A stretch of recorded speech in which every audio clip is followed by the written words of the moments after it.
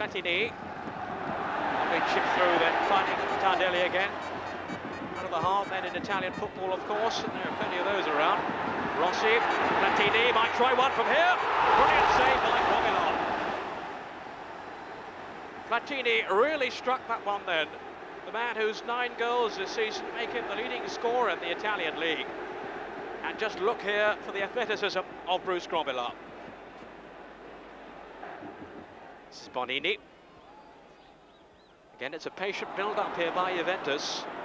They're certainly not dissimilar to Liverpool in style. This is Favero going through. And so nearly scored too. What a strong break then by Favero. The man who's replaced the fearsome Gentile in the Juventus side and not far away there. Who's made quite an impact since coming into the Liverpool side in this reshaped midfield. Is Nicol now operating on the right. Strong and positive run there too. And the shot from Neal. And Bodini perfectly positioned. There's Neal again. It was his shot there that tested Bodini. Liverpool's first real opportunity of the match so far, set up by Nicol and Neal's shot. Their success in the European Championships. Here's Platini again. It's Boniek who's gone through the middle. Found two by Platini. Oh. And Neal away. Boniek so close there. The intelligent chip through. Sheer genius really by Platini. Grobbelaar stranded. And Neal anticipating. And Juventus back in possession here with Bonini to Platini. Again, striking the ball through so cleanly. Boniek. Danger threatening here. Magnificent goal by Boniek. That was a classic goal by the Polish international. Sent clear of Liverpool's defence. He showed his acceleration there. And beyond Grobbelaar into the far corner. Five minutes to half-time. As Zbigniew Boniek has given Juventus the lead. His contract is up at the end of the season and there's some speculation that he may not stay, but that's a quality finish. Boniek, whose pace was simply too much. Now can Liverpool come straight back? Here's Rush, we haven't seen too much of him in this first half. Wriggling through there, and Juventus struggling to get the ball away. Kennedy driving in the shot. Came off Tardelli, Wark! Only just wide of the far post a clear-cut chance then for Liverpool. John Wark on the end of it. So prolific a marksman in Europe. 22 goals he's scored for Ipswich and Liverpool. Tardelli. Platini. Briaschi. So Rossi down here now though with a cross in. There's Briaschi in the middle. Grobbelaar somehow managed to hold on to it. Again, the break instigated by Platini.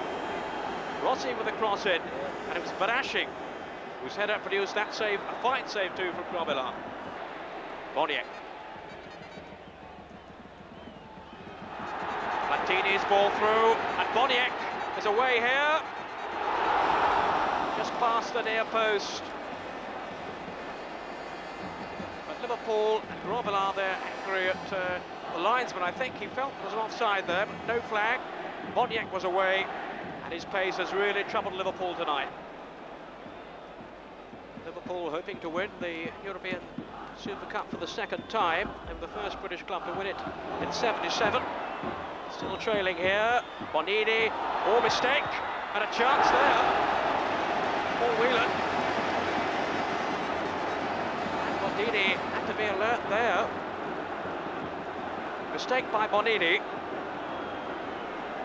Goalkeeper right behind the shot from Whelan. Cabrini. Came off Neal. Here's Briaschi. The Liverpool defence again extended here. Briaschi's turn. There's Boniek. That's two. And Boniek has got both the goals. set up by Briaschi, and nobody picked up Boniek as he steered it into the corner. The man whose future is in doubt. What a reply from him tonight. Briaschi finding Boniek. And Grobbelaar motionless on his line. Liverpool have a free kick here with Phil Neal, their captain. Chance now for Walsh. Walsh rather snatched at that.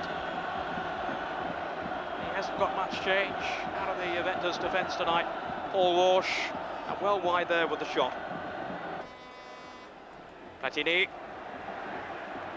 Crowd rising in anticipation as Boniek goes through. Can he complete his hat-trick here? Blocked by Gillespie. It's Rossi's shot. Tipped over the bar by Grobbelaar. Again, he's denied the Juventus side. This time Rossi. Boniek set through here by Platini. So often that's been the case tonight. Boniek, the shot there, charged down by Gillespie. It falls for Rossi. And only the expertise of Grobbelaar keeps him out. There's a scrap going on there in the middle of the field. The referee has had one glance at the watch.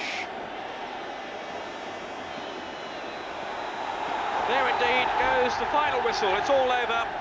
The end of the 1985 European Super Cup. The winners, Juventus, by two goals to nil. Deservedly so too. They've been the more creative side over the 90 minutes. And could this be, I wonder, a dress rehearsal for the European Cup final? It's disappointment again for Liverpool here at Turin. They've lost by two goals to nil to Juventus.